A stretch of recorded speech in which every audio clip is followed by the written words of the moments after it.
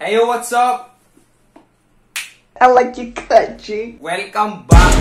So ngayon magre-review tayo ng keyboard na One Piece Chopper galing sa Ako. Kung di nyo alam yung Ako, nagtitinda sila ng mga peripherals and mga keycaps ng keyboard. Meron din silang mga mousepad.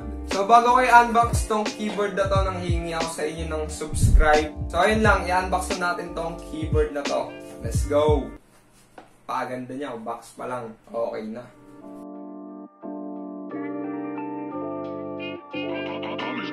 So pagkabukas sa pagkabukas nyo ng keyboard, bubungad kaagad sa inyo yung pinaka-manual ng keyboard. Nandito lahat nakasulat yung inyong mga kailangan. Tapos yung kung anong material to na keyboard. Yan lahat na nakasulat. Included dito sa keyboard na to, itong pinaka mismong wire, rubber wire na kulay pink. At meron din siyang kasamang puller. Ito yung magandang puller kasi yung ibang puller na plastic, nakakagasgas siya ng keycaps. Ito madali lang isalpak, tapos hugutin nyo na agad, madaling gamitin. At panghuli, meron siyang kasamang extra keycaps. Kung ayaw nyo ng printed na keycaps, yung may design na keycaps, meron ditong plain na extra keycaps. Kung trip niyang palitan, pwede niya siyang palitan. Bago dyan sa keyboard, meron sa kanyang nakapatong na cover na plastic.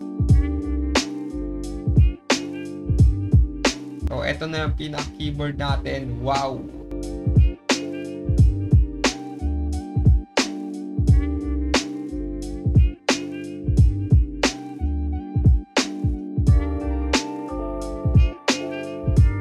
Kung mapapansin nyo yung keyboard, meron na siyang F1 to F12.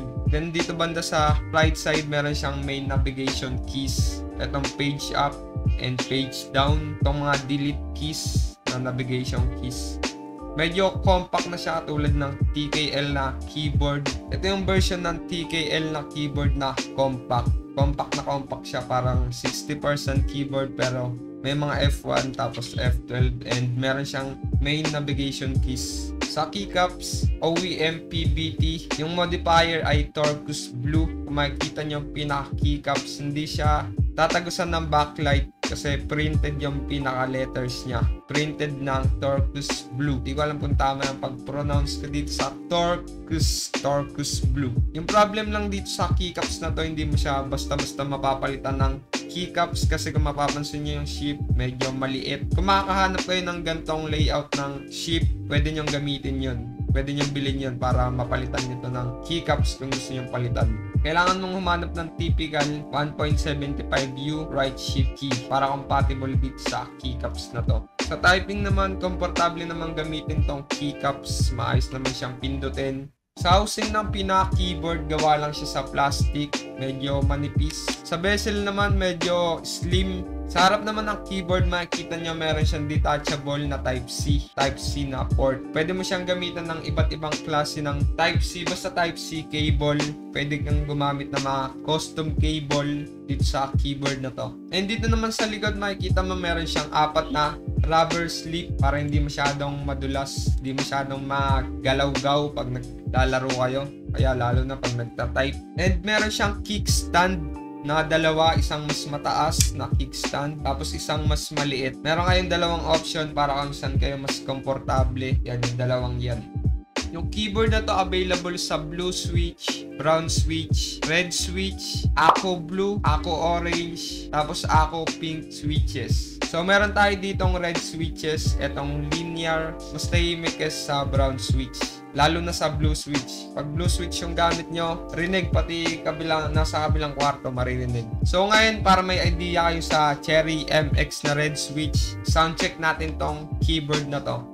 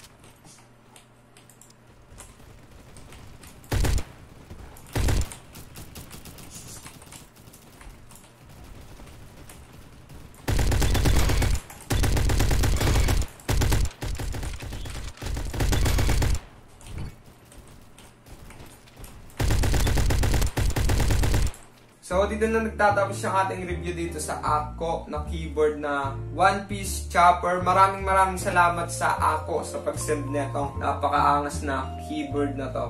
So, sa April nga pala, magpapamigay tayo ng RK61. Pero, pero, pag umabot tayo ng 10,000 subscriber, kaya sa mga nagko-comment dyan na magpamigay na ako ng RK61, hindi pa ako magpapamigay ng RK61 hanggat di pa tayo nagte 10k subscriber. Kaya pag umabot tayo ng 10k subscriber, dun pa lang ako magpapamigay ng RK61. Kapag hindi naman tayo umabot ng 10,000 subscriber sa April, kahit 8,000 subscriber lang sa April, magpapamigay ako. Pero hindi na RK61 yung ipapamigay ko nun dahil hindi tayo umabot ng 10,000 subscriber. Kahit siguro yung Mage GTS 91 lang yung ipapamigay ko. So hanggang dito na lang. Maraming maraming salamat. Peace. Ha.